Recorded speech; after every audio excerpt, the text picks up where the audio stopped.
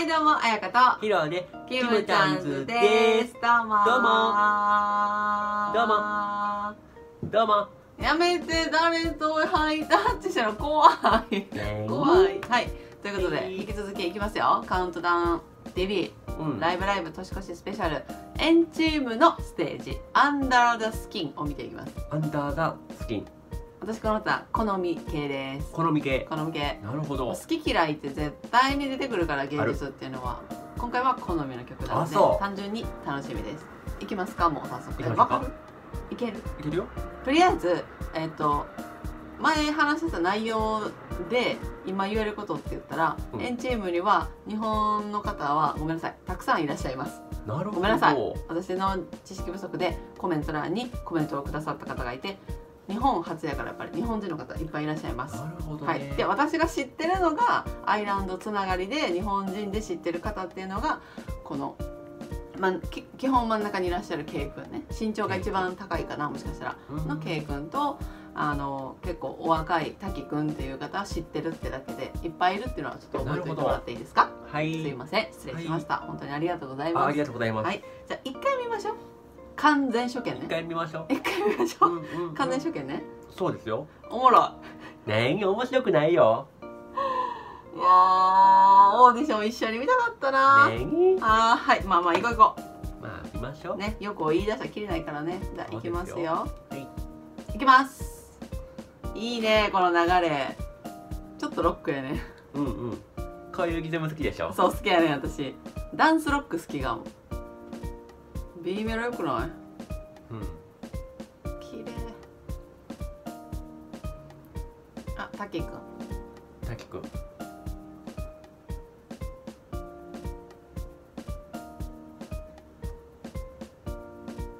はあ。すごい曲やなこれ。なるほどね。やばい。あそう、はうんうんうんうんうん。もう言葉でええわ。ああかん。完全処刑の方がここにいらっしゃる。から何難しいやん。何でもいいから聞かして。何でもいいからもう。でもいいらしいですよ。だからさっきから誰と喋ってあのー、あのねあでも自分が感じたのは、はい。すごいあのー、すごいこうなんて言ったらいいんかな。こうえっとね。いつもヒロ君がやるまで明るい未来をこうなんていうの？望んでんねんけどうん。なかなかこううまくいかへんやんかやっぱり。はい。現実で、はい。でもなんかこう諦めずに前に進んだらきっと掴めるんじゃないかみたいな。希望は捨ててない。そうそうそうそう。そうそうそう、うんうん。そういうのを感じたかな。まあ、そういう曲なんかな。うん。私さこの曲さ、初めて見た時さうん。すごい言うたいなってリズムとかうん。曲で捉えてたんですけうんど、今回は歌詞で捉えたんですよ。うん。歌詞がすごい入ってきたんですよ、うん。彼らの伝えたいメッセージがやっぱ生放送っていうのもあってすごいダイレクトに来たんですけど、うん。それがなんかすごい感動してるな。伝えたいこのえなんていうのまあエモーショナルって言っちゃうけどその感情的なものが先立ってたように見えて、多分同じとこ見てたんじゃないかなと思う、うん、歌詞見てたから自分私も歌詞が入ってきてすごいなんかすごいよ歌詞。結構なこと言ってるなと思って。誰が作ってくださったかまでは分かってないんですなんけどかやっぱ分かりやすいしメッセージうん。もだからすごいそこがそうやな。好きな人多いんじゃないかなって単純に、うん。うん。ストレートすぎずでもオブラートにも包みすぎずちょうどいい分かりやすいでもちょっと美しい日本語みたいなうんうんそうですね。なあ分かる？なんか最近思うのがその日本の文化だけじゃない韓国の文化だけでもないそのハイブリッドな感じの表現がすごい最近好きなんやなって自分で気づいたし、まあ、ちょっと今時なんかなとも思うんだけどそこは。それがね良かった逆に。なんか響いてんなものすごい。まあ楽曲自体もすごくなんていうの起承転結があるというか、ストーリー性のある振り付けが入ってたりとかするから。それで感動しやすいっていうのはもちろんあるんですけどそれだけじゃないなんていうの形に目目では見えない。なんていうのこれ、うん。まあ、彼らの表現力が高いって言っちゃうと簡単すぎてちょっと違うねんなもっと内側の彼らの人生を反映させた歌詞みたいな感じっていうの、今まで苦しかった歌詞。ん？今まで苦しかった経験を歌詞に乗せて届けてるから届く。私たちのこの感情に届くんじゃない？だってさまあはっきり言っちゃうと年齢がさ やっぱりさ私らよりははるかに若いわけじゃない？でそういう方のパフォーマンスを見て感動する時ってよっぽどのことやねんってやっぱり。例えばものすごい自分の子供がいたとしてその子供がなんかお遊戯会とかで何か発表しましたっていう時の感動っていうのはもちろんあるよ。そういうのはある。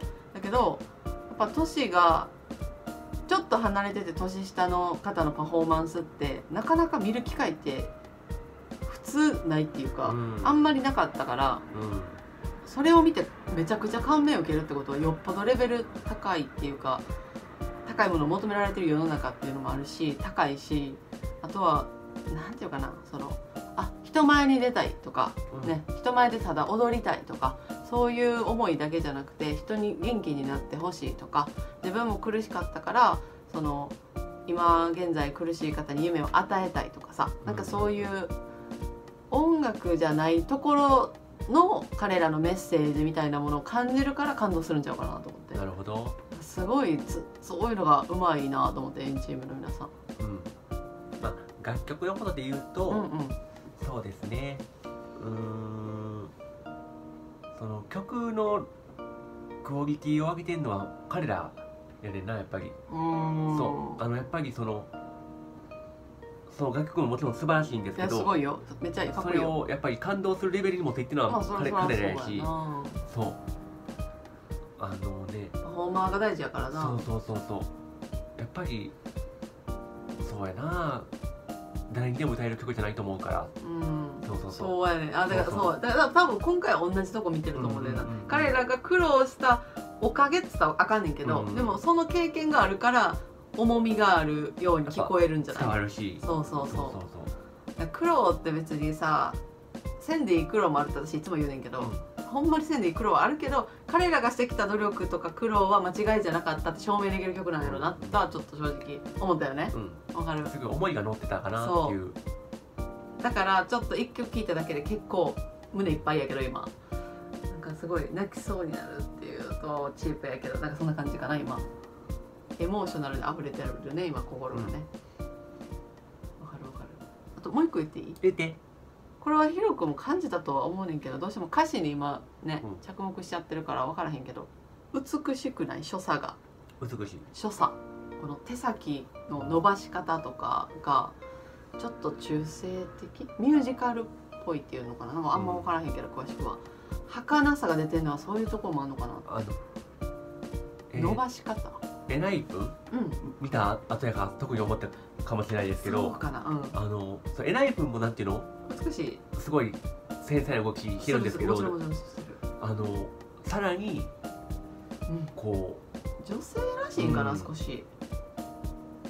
うそれはちょっと感じますそうやろ、うん。なんか性別を感じないダンスかって言われたらエンチームかなって思って。うん。なんかすごいうんなんかそうねミュージカルっぽいなんか美しさを感じたかなちょっと、なんか高貴なダンスみたいな感じに感じたかな、あジャズダンスとかを感じたちょっと。なるほど、うんうん、なんかすごいそれが見てて新鮮やった。あこういう動きするんやと思って。同じダンス踊る人たちでもいろんな特徴があるっていうのが最近分かってきたからなんかちょっとそれが新鮮でしたね。あんまりなくない？ミュージカルっぽい動きをする、ねまあ、みみんながみんなじゃないけどなんとなくその全体像を見た時に手の伸ばし方とか角度とかがすごいピシッてなってるねんけどしなやかさがあったからうん。それがちょっと中性的に見えました。うん、いうこと言いました？あとねエナイブンのねうん、あの曲もまああの比べて申し訳ないですけど、まあの流れがあった順番やかったからね。うんうん。たまたまね。うん。あのやっぱりねみんなが好きになるポイントが何点かありましたよえライプの話してま両方両方あ両方ねびっくりした。あの楽曲のメロディーまあなあ。どっちもありましたあれよはもうプロやもん。あもうこれは好きになるなっていうエモーショナルに同じ言葉を繰り返すまあみたいなあのあるんですよ。まあ一応作曲家ですから あのそういうこともやっぱり分かってないといやでもほんまにそういうことが分かってないとなんていうのかな売れへんからな正直売れ売れたくて音楽もしやりたいのであればそういうのも全部分かった上でやらないとダメなのであの売れてる方の曲を聴く側もそれはちょっと分かってた方が腑に落ちるとは思います。なんでかって言ったら世の中にはいろんないい曲があるのに売れない方の方が多いでしょ？なんでって考えた時にそういう手法をあえて使わずに作る方もいっぱいいらっしゃるからってことなんですよ。うんうん。もう心情で歌ってる方もいらっしゃるのでだからどうしてって思うんじゃなくてあなるほどそういう仕組みがあるのねって、そうですうん。ねでもわ分かってるよ。その曲のおかげで売れてるって言ったわけじゃないで私たちは、うんその曲も大事やし演じる方なんか一番大事やしやっぱり全部大事やでな。そうそう。そこ勘違いしがちやねんけどそうやね。一個じゃあかんねみんな大事やねんそれ。そう。だってさ名プロデューサーがさオーディションしたってさ、うん。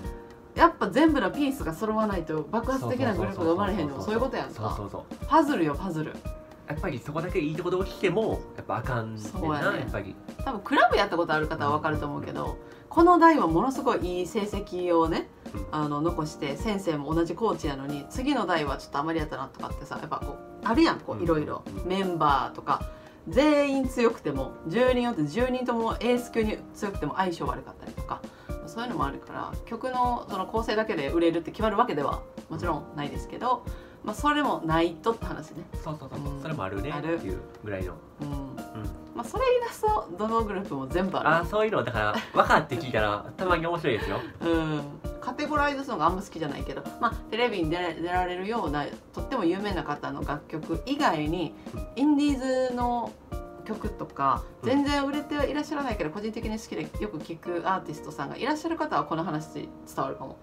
うん。な。大して音楽しか聴いてない。チャートに入ってる曲しか聴いてないってなっちゃうと多分ちょっと私たちの言ってることが伝わりにくいかなと思って今補足をしてるんですけど。うんうん。多分分かる方は分かると思います。自分も勉強して分かったしそういうのは。うん何？ちょっと作曲家っぽいこと掘り込んどこうと思ったん？で一応たまには言っとこうと思って。まあでも現実的なことね。わけわからんのはあんまり良くないと思うから。うん。へえぐらいはね。ぐらいの、うんうん。ああそういうことかみたいな、うんうんうん。なんかもやっとするそのなんでか分からんことが少し解決できたらいいなとは確かに思いますね。うん。分かる。まあ、あんまりこうなんかこうあんま技術技術は嫌やから嫌いやもんな。嫌いめっちゃ嫌い。